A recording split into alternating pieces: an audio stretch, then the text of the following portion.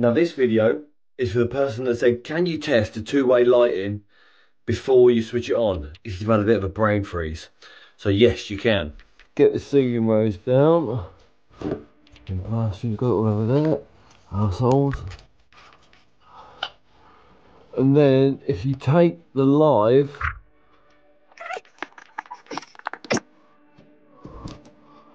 and you switch live, like this is why with a four core, three core even, uh, live and you switch live out because that's what you want to make a connection. You want to make the live go to the light. So we're going to make sure that it's switching properly.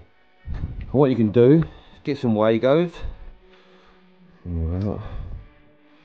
Stick on the end with your volt stick.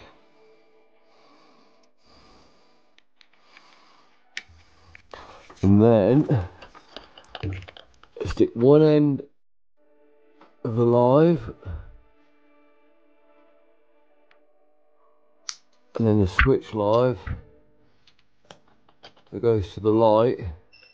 Alright, well that's on at the minute. Off.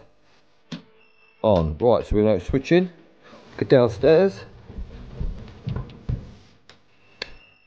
It's beeping and just to make sure perfect. And that is how you can test that your two-way switching works without having to turn it on. So then that's how you know that it works. Voila